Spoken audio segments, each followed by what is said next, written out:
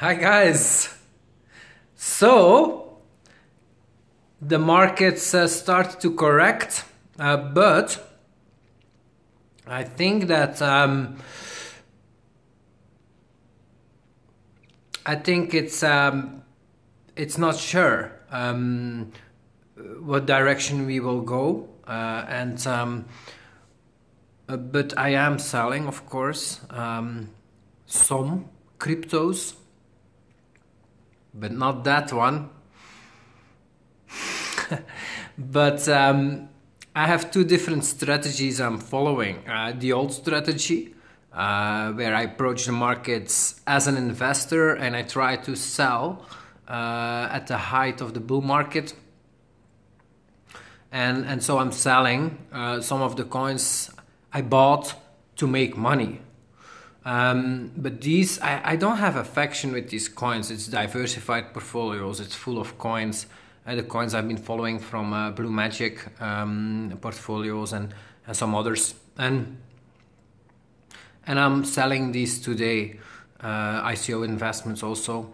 Um, uh, because I do think uh, there is a very good chance we're gonna see a short but powerful uh, bear market um, and we're gonna we're gonna we're gonna uh, at least go sideways, but that's not a bear market. No, we're gonna uh, see some good sweating. Um, I think Bitcoin can reach. Um,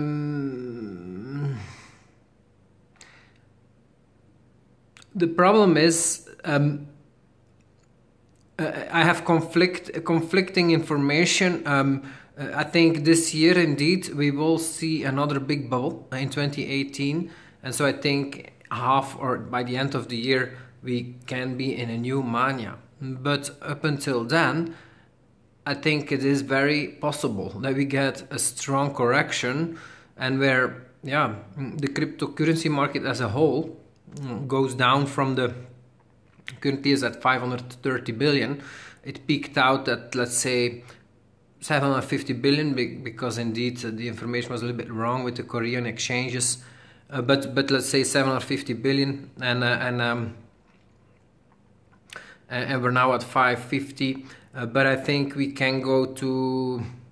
I, I don't think we're gonna get a full blown 90% correction bear market. No, uh, why? Because um, we only started recently, uh, uh, let's say half year back or, or, or, with overvaluation into the market. And before that, we were at a, a long period of undervaluation.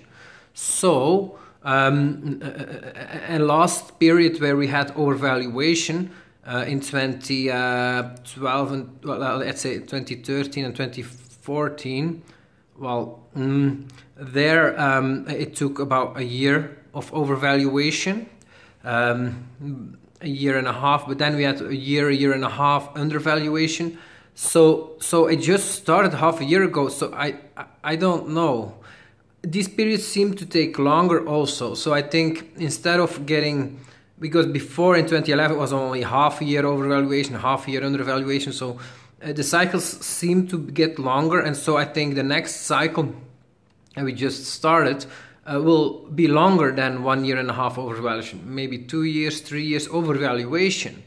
So um, uh, that means that uh, well, uh, it's not finished uh, the, the, the the bubble, um, um, but at the same time, um, this uh, rise since um, well the past two two years has been tremendous and uh, certainly parabolic. Uh, the low was 3 billion. Uh, um, uh, market cap uh, was 3 billion of the total market. It went to 750, now correct to 550. But we can easily um, see, well, uh, go, let's say, 60 or 70% down.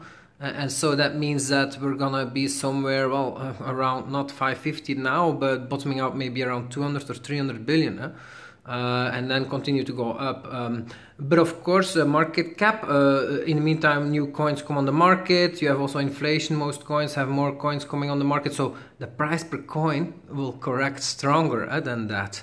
Uh, so so so I think we can see like yeah you have to pre- prepare for losing half and then again half uh, from the peak per coin um, in fiat value. Mm.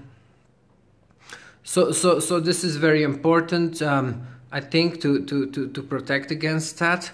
Um, at the same time, as an investor, I would have done much better um, since I started investing in cryptocurrencies to just buy and hold through the cycles. Mm.